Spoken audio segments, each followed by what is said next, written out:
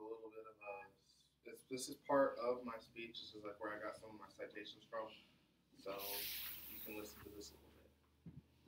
Appreciate that question. Um, no, no, I don't think college athletes are given enough time to really take advantage of, of the free education that they're given.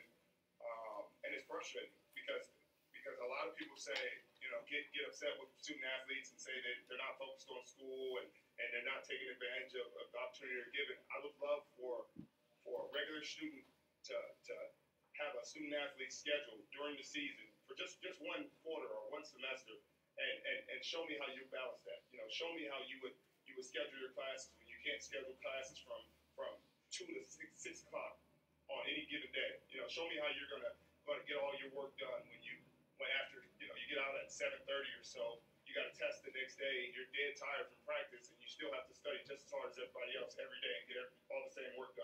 You know, most of these kids are are, are done with school, you know, done with class by three o'clock. You got the rest of the day to do do as you please, you know, and you you're sitting there. You may excuse me. Um, you may spend a few hours studying.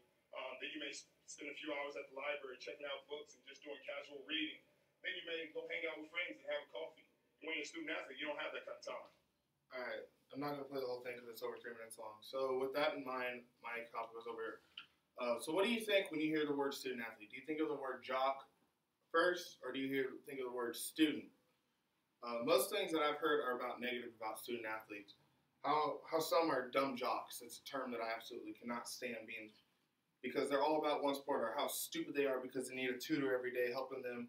But what do we not take what what we do not take in consideration is the schedule of a student athlete.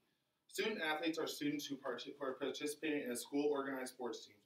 Some examples are you have football players, you got swimmers, you got basketball players, you got baseball players, you got hockey if the school has it, you got cheerleaders, you got dancers, all examples of student athletes. In a speech that I recently seen by Richard Sherman, uh, he said, as you've heard, he said, I would like to see a regular student have a student athletes for a quarter or even a semester and see how well they balance out. This cannot be more well said than it was. I would seriously like to see a regular student have a student athlete schedule where you wake up and the first thing you got to do is you got to go lift weights. And then the next thing you got to do is you got to go to class. Then after class, you grab yourself a quick bite to eat. Then after a quick bite to eat, you got to go to meetings. And then after meetings, you got practice.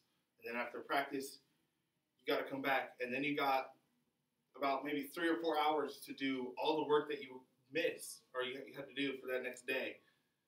And uh, those were wise words. Those were later on in the speech, but those were wise words by Richard Sherman. And then, like, also, he said that a regular student has nothing to do after they're done for the day.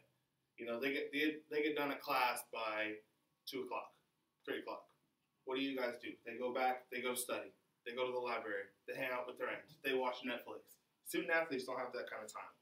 20 minutes of free time that we have are usually spent Netflix, going to bed, you know, maybe talking to a loved one back home, maybe calling your family members. So, and like guys put on the board, there's a graduation success rate, and this was according to the NCAA. It was from a website that we got, and, and overall, NCAA student athletes, 80% of them graduate. You got men's basketball at 44%. You got women's basketball, which 100%. So if you play basketball, mean you're pretty good shape to graduate. Uh, baseball 66, softball 89, and you got football 71%. For example, Morningside College had over 40 student athletes get academic All American in the fall or winter sports. Now that's an achievement if you ask me. Also, more than a third of student athletes were on the dean's list for the first semester. So, what does that tell you about what student athletes do to be able to, you know, keep up with their academics with no matter how long they have? In the downtime we have mostly as we go to bed, we have 20 minutes of free time to watch Netflix, call our parents back home.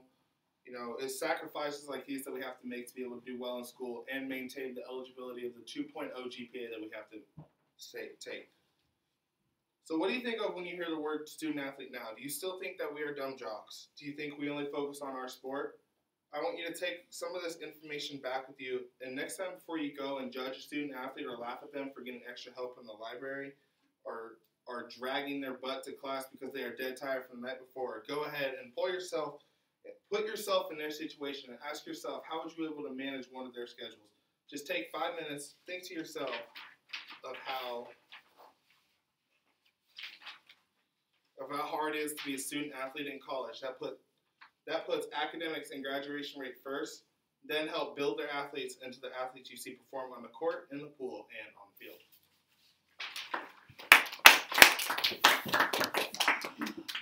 I think it timed out.